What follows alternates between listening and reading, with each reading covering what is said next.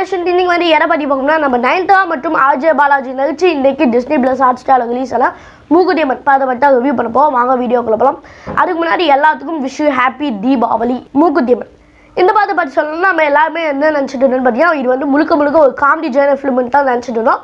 But trailer வந்ததுக்கப்புறம் தான் தெரிஞ்சு காமெடி கலந்த நிறையா சோஷியல் மெசேஜ் இருக்க ஒரு படம்னு எனக்கு தெரிஞ்சு இந்த படம் பார்த்து முடிச்சதுக்கப்புறம் வந்து நிறைய பேர் வந்து இந்த படத்தை எல்கேஜி கூட கம்பேர் பண்ணுவாங்க.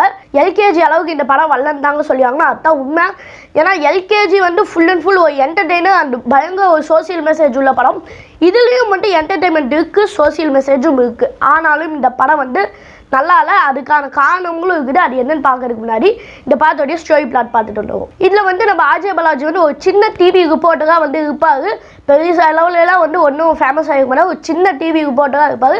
இவங்க அம்மா வந்து அவங்க ஃபேமிலி ஃபுல் அண்ட் ஃபுல் வந்து ஒரு சாமி பக்தி பயங்கர சாமி பக்தி. நிறைய கோயிலுக்கு வந்து போவாங்க. இவருக்கு வந்து பொண்ணு பார்க்குறாங்க. செட் ஆகலை. இவருடைய எதுவுமே ஃபேமஸும் ஆக மாட்டேங்குது. அப்போ தான் வந்து நிறைய கோயிலுக்குலாம் போயிட்டு போயிட்டு ட்ரை பண்ணாங்க. அதுக்கப்புறம் தான் கடைசியாக நம்ம குலதெய்வம் வந்து மூக்குத்தி அம்மன் கோயிலுக்கு வந்து போயிட போயிட்டு வந்துடலாம் அப்படின்னு சொன்னாங்க. அப்போ அங்கே போகும்போது ஆஜே பாலாஜிக்கு வந்து அந்த மூக்குத்தி அம்மன் வந்து தெரியுறாங்க அவங்க கூட பேசுகிறாங்க அதுக்கப்புறம் என்ன நடக்குது அந்த அம்மன் எதுக்காக வந்தாங்க அதோட ரீசன் என்ன அப்படிங்கிறது தான் மொத்த கதை. உண்மையிலேயே நல்லா இருந்துச்சு பட் இதில் வந்து செகண்ட் ஹாஃப் வந்து எனக்கு பிடிக்கல. ஏன்னா ஃபர்ஸ்ட் ஹாஃபில் அவ்வளோ விறுவிறுப்பாக போயிட்டு இருந்துச்சு பட் செகண்ட் ஹாஃபில் அது இல்லை. எப்படா இந்த படம் முடியும் அப்படிங்கிற மாதிரிலாம் நமக்கு வந்து யோசிக்க ஆரம்பிச்சிருச்சு.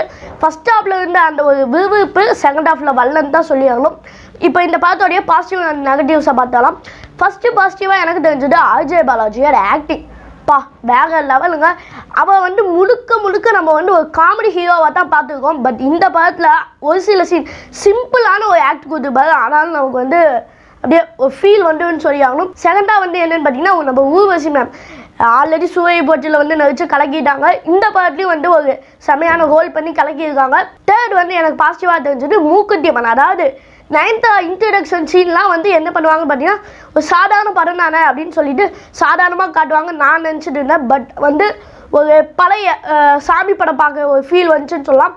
அந்த பழைய எஃபெக்ட்ஸு பயங்கரமாக வந்து கொடுத்துருக்காங்க. ஸோ அது வந்து எனக்கு ரொம்ப பிடிச்சிருந்துச்சு. பின்னாடி இருக்க மியூசிக்லாம் வந்து உண்மையிலே வேற லெவல் ஒரு சாமி பாத்துக்கு வந்து எந்த மாதிரி போடணுமோ போட்டுருந்தாங்க. ரொம்பவுமே வந்து பழைய காலத்து மியூசிக் மாதிரியும் இல்லை. அதே மாதிரி ரொம்ப ட்ரெண்டியாகவும் போடல. ரெண்டத்தையும் மிக்ஸ் பண்ணி சூப்பராக போட்டுருக்காங்க. இந்த படத்தில் எனக்கு ஃபஸ்ட்டு நெகட்டிவாக தெரிஞ்சது நம்ம எல்லாம் ஆஹா ஓஹோ அப்படின்னு சொல்லிட்டுலாம் காமெடி இருக்கும் அப்படின்னு நினச்சிட்டு போனால் கன்ஃபார்ம் அது வந்து இருக்காதுங்க. ஒரு சாதாரண காமெடியாக தான் இருக்கும். பட் அதுவும் வந்து ஃபர்ஸ்ட் ஹாஃப் வரைக்கும் தான் இருக்கும். செகண்ட் ஹாஃபில் வந்து பெருசாக இருக்காது. செகண்ட் நெகட்டிவாக எனக்கு தெரிஞ்சது நான் முன்னாடியே சொன்ன மாதிரி அந்த ஒரு விறுவிறுப்பு இல்லைன்னு தான் சொல்லி ஆகணும் செகண்ட் ஹாஃபில் எப்படா இதை போட முடியும் அப்படிங்கிற மாதிரி நமக்கு ஆயிடுச்சு கடைசியில். தேவையில்லாமல் நிறையா சீன்ஸ் வச்சுருக்காங்கன்னு சொல்ல முடியாது. எல்லாமே கரெக்டான சீன்ஸ் தான். பட் இதோட ஸ்க்ரீன் ப்ளே வந்து ரொம்பவே வந்து என்ன ஆயிடுச்சுன்னா பிரேக் பண்ணாமல் ஆயிடுச்சு. ஃபஸ்ட் ஹாஃபுக்கும் செகண்ட் ஹாஃபுக்கும் ஸோ இதுதான் வந்து எனக்கு நெகட்டிவாக தெரிஞ்சு மற்றபடி ஒரு நல்ல படம் தான் தீபாவளிக்கு ஏற்ற மாதிரியான ஒரு படத்தை வந்து கொடுத்துருக்காங்க. உண்மையிலேயே நல்லா இருக்குது பட் இந்த நெகட்டிவ்ஸ்லாம் வந்து எனக்கு தெரிஞ்சு இந்த படத்துக்கு என்னோட ரேட்டிங் எவ்வளோ கொடுப்பேன்னு பார்த்தீங்கன்னா சிக்ஸ் கொடுப்பேன். அவ்வளோ தான் கொடுக்க முடியும். இதுக்கு மேலே போனால் கொஞ்சம் அதிகமாக இருக்க மாதிரி இருக்கும். ஓகே இந்த வீடியோ உங்களுக்கு பிடிச்சதா லைக் பண்ணுங்கள் ஷேர் பண்ணுங்கள் கமெண்ட் பண்ணுங்கள் ஓகே சேனல் கூட சப்ஸ்கிரைப் இல்லை சப்ஸ்கிரைப் பண்ணிட்டு பக்கத்தில் பெல் ஐக்கான கிளிக் பண்ணிடுங்க.